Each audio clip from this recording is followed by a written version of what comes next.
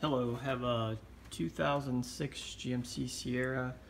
Um, problem I was having was I was losing antifreeze. Um, didn't see any leaks. Couldn't find uh, where it was coming from. I could smell it. It was probably over the over a month or so. I could smell it. Um, just finally got around to checking it. Uh, antifreeze was was low or almost empty in the, in the box here. Um, Refilled it, and this is, I've already found the leak, but it took me a while to find it. So I did get a pressure tester um, and pressurize the system. Of course, we just have the overflow box. Um, we don't have a radiator cap to hook to, so um, if you're gonna get that, make sure you get the adapter that comes with the overflow overflow box um, cap. I, I specifically asked for that. Um, I was told it was in the kit. Didn't check it. Anyways, and ended up having to go back to the parts store to get that. So I'm just going to show you um, basically what I did was pressurize the system and I followed every line I could. Um, all the coolant lines. Um, there's there's some under here under the air intake. I followed everything. Um, I pressurized it. It wasn't leaking out super fast. But anyways, here's where I, here's where I found the leak. Um, and how I seen it was the tray at the bottom of the core support um, was pretty wet. And you can see on that wire harness there, it's wet.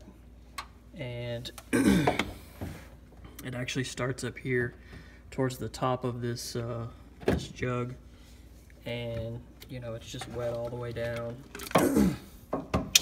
and, um, you know, all the way down to the bottom. So this this whole side was was getting wet. It was dripping off the bottom. So I think I must have a pinhole. I don't know if it's here where the where the aluminum attaches to the to the jug. Um, anyways, I'm just gonna order a new one. I did have to pull off. Uh, well, I didn't have to, I guess, but um, to get a little more access, I, I pulled everything off the front here. You know, the the uh, air intake box there, the hose, and uh, this has the electric fan. So I pulled those out just to make it a little easier.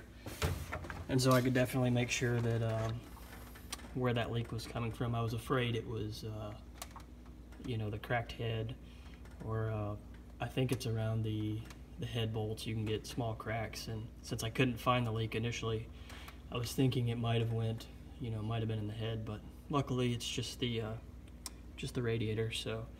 Um, pretty easy to take out though. I'll, uh, I don't know if I'm gonna do a video of that, but um, just to show you where the leak was. Like I say, I think uh, when people can't find leaks like this, they they get really worried, as, as I was initially, um, hoping it wasn't something internal to the engine. But um, that's it. Easy fix. Just need to get a replacement and uh, put it in. All right. Good luck. Thanks.